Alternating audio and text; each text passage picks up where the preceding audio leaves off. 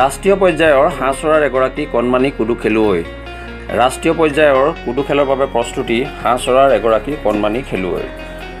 শিৱসাগৰ হাঁহ চৰা ৰাইলুং গাঁৱৰ এগৰাকী ৰাষ্ট্ৰীয় পৰ্যায়ৰ কণমানি কুডু খেলুৱৈ। অংকিতা গগৈ নামৰ এইগৰাকী কণমানি কুডু খেলুৱৈয়ে ইতিমধ্যে ৰাষ্ট্ৰীয় পৰ্যায়ত কুডু খেল খেদি অসমলৈ গৌৰৱ কঢ়িয়াই আনিছে বহুবাৰ। আৰ্থিকভাৱে জৰ্জৰিত এটি পৰিয়ালৰ কন্যা অংকিতা গগৈয়ে ৰাষ্ট্ৰীয় পৰ্যায়ত কুডু খেল খেলি লাভ কৰিছে ব্ৰঞ্জৰ পদক। এইগৰাকী কণমানি খেলুৱৈৰ বয়স বাৰ বছৰ। কণমানি খেলুৱৈগৰাকীৰ পিতৃ এজন খেতিয়ক। চাৰি পাঁচ বিঘা মাটিত শাক পাচলিৰ খেতি কৰি নিজৰ পৰিয়াল পোহপাল দিয়াৰ লগতে এইগৰাকী কণমান খেলুৱৈক কুডু খেলৰ বাবে ৰাষ্ট্ৰীয় পৰ্যায়ত আগুৱাই নিছে। মাতৃৰো নাই কোনো উপাৰ্জনৰ পথ। পিতৃয়ে শাক পাচলিৰ খেতি কৰি বজাৰত বিক্ৰী কৰি পোহপাল দি আহিছে ঘৰখন। কণমানি খেলুৱৈগৰাকীৰ পিতৃ কৃষক হৈও চৰকাৰে কৃষকক দিয়া কোনো সা সুবিধা লাভ কৰা নাই আজি পৰ্যন্ত। শিৱসাগৰৰ হাঁহ চৰাৰ এইগৰাকী কণমানি খেলুৱৈ অংকিতা গগৈয়ে ৰাষ্ট্ৰীয় পৰ্যায়ত কুডু খেল খেলি অসমৰ লগতে শিৱসাগৰলৈ গৌৰৱ কঢ়িয়াই আনিছে দুহেজাৰ ওঠৰ চনৰ পৰাই অংকিতা গগৈয়ে ৰাষ্ট্ৰীয় পৰ্যায়ত মধ্যপ্ৰদেশ আৰু দুহেজাৰ ঊনৈছ চনত মুম্বাইত কুডু খেল খেলি দুই ঠাইতে লাভ কৰিছে ব্ৰঞ্জৰ পদক।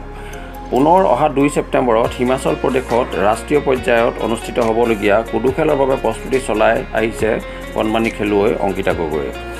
কণমানি খেলুৱৈগৰাকীৰ পিতৃয়ে শাক পাচলিৰ বীজ ক্ৰয় কৰিবলৈ যোৱা টকাৰে হিমাচল প্ৰদেশত অনুষ্ঠিত হ'বলগীয়া ৰাষ্ট্ৰীয় পৰ্যায়ৰ খেলত অংশগ্ৰহণ কৰিবলৈ যাবলৈ সুবিধা কৰি দিছে। কণমানি খেলুৱৈ অংকিতা গগৈ সিংহদুৱাৰ শংকৰদেৱ শিশু নিকেতনৰ জ্যেষ্ঠ শ্ৰেণীৰ ছাত্ৰী। ভৱিষ্যতে এগৰাকী সফল কুডু খেলুৱৈ হোৱাৰ আশা মনত পুহি ৰাখিছে কণমানি এইগৰাকী খেলুৱৈ অংকিতা গগৈয়ে। Parthapratim Baruah report Patkai TV. প্ৰায় চাৰে চাৰি বিঘা। এইবাৰ বাঢ়িব অলপ। আপোনাৰ কন্যা কষ্ট হৈছে খেতি বাতি কৰি আৰু।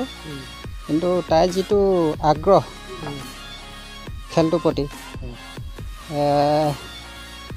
বহুত আগ্ৰহ আছে তাই এই খেলটোৰ প্ৰতি। সেইটো কাৰণে মানে যেনেধৰণে পাৰোঁ আৰু তাইক পঠাবৰ কাৰণে খেলিবৰ কাৰণে। আপোনাৰ ধৰি লওক এইটো বহুতখিনি এতিয়া ফ্লাইটৰ টিকেট কৰিবলৈ আপোনাৰ ছেপ্টেম্বৰ দুই তাৰিখে খেল আছে। আপোনাৰ ডিব্ৰুগড় এয়াৰপৰ্টৰ পৰা এতিয়াতো কৰোণা ছিজন ট্ৰেইনত যাব নোৱাৰে। গতিকেলৈ গোটেই গ্ৰুপটোৱে ক'লে যে ফ্লাইটতে যাব লাগে।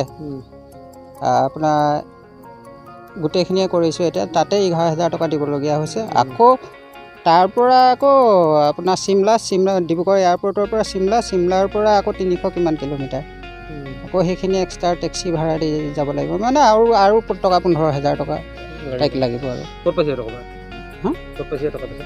নাই নাই খেতিৰ পৰাই দিবলগীয়া হৈছে আৰু এই গুটি পইচা বোলে এতিয়া ছিজন আহিছে গুটি পইচা বোলে যিটো পইচা থৈছিলোঁ এই তাইক টিকেট কৰি দিবলগীয়া হৈছে আৰু। তাই ওঠৰ চনত খেলিছিলে মধ্যপ্ৰদেশ তাৰপিছত ঊনৈছ চনত মুম্বাই খান্দালা। দুই ঠাইতে থাৰ্ডেই পাইছে ব্ৰঞ্জ তাই ছেপ্টেম্বৰ দুই তাৰিখ হিমাচল প্ৰদেশত আছে আকৌ খেল। অঁ ৰাষ্ট্ৰীয় পৰ্যায়। নমস্কাৰ মোৰ নাম শ্ৰীমতী অংকিতা গগৈ। খেল? খেলা কুডু খেল? খেলোঁ মধ্যপ্ৰদেশ আৰু মুম্বাই। দুয়োটাতে ব্ৰঞ্জে পাইছোঁ।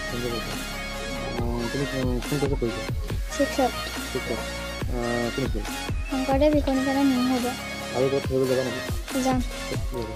হিমাচল প্ৰদেশত অ, ক- কেতিয়া খেলিছা উম, ছেপ্টেম্বৰ দুই তাৰিখে আছে তোমাৰ গুৰু কোন নয়নমণি ছাৰ মানিক ছাৰ।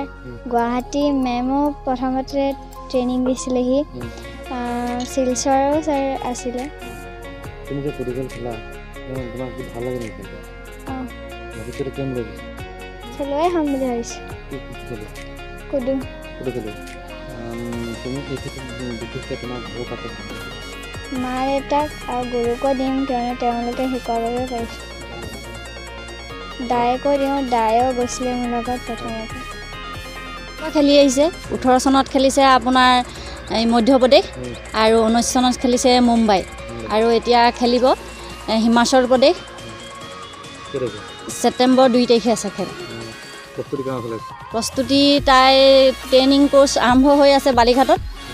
খুব আৰু বেছি দিন নাই আৰু ট্ৰেইনিং ক্লাছ শেষ হ'বলৈ।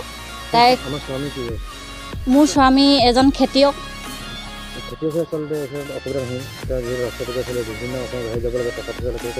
অসুবিধা হৈছে আৰু বহুত কি ক'ব আৰু এতিয়া লকডাউনৰ সময়। চব্জিৰ বিক্ৰী বাৰ্তা নাই। বহুত কষ্ট কৰি আমি দেউতাকে মই হ'লেও তাইক খেললৈ খেলৰ কাৰণে বেছি আগ্ৰহ আছে কাৰণে খেলৰ খেলিবলৈ আমি আগবঢ়াই দিছোঁ আৰু তাইক আজিলৈকে চৰকাৰৰ আমাৰ কোনো সুবিধা নাই। সুবিধা দিয়াও নাই কৃষকক আমি এপ্লাই কৰিছিলোঁ নাপালোঁ কোনে পালে কি আমি তাকো নাজানো। আমাৰ চৰকাৰী কোনো সাহাৰ্য দিয়া নাই। চৰকাৰক কওঁ আৰু যে খেতিয়কে যিটো প্ৰাপ্য ধন পাব লাগে সেইটো দিব লাগে। কইনাৰ কাৰণেও আৰু কোনোবাই যদি কিবা আগ্ৰহ হ'বলৈ দিবলৈ বিচাৰে তেতিয়া সাহাৰ্য দিব পাৰে।